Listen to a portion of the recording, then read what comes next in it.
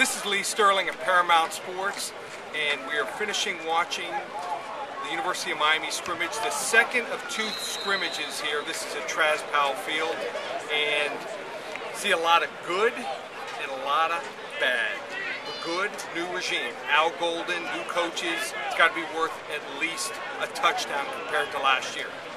Also, the running back position looks spectacular.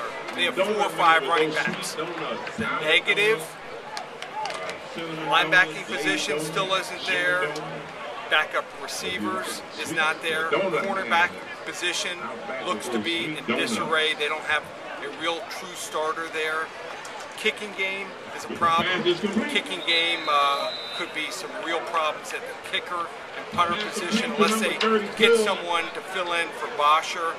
And also the biggest negative, no real quarterback. Jacory Harris or Stephen Morris do not look like they're ready to step up and be prime time players. So what you have is a Miami team that's going to get better and better because of coaching and recruiting, but just does not have the frontline players and the depth to compete and beat the best teams.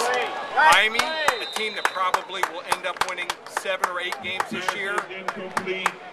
We're looking for Miami to get better as the years go on, but they're not ready to compete with the big dogs yet. Seven or eight win season for the Miami Hurricanes and a minor bowl. This is our second stop of what will be many, many spring games and fall camps. We'll check with you later in the spring and in the fall. And Miami Hurricanes looking good, but not where they were eight or ten years ago.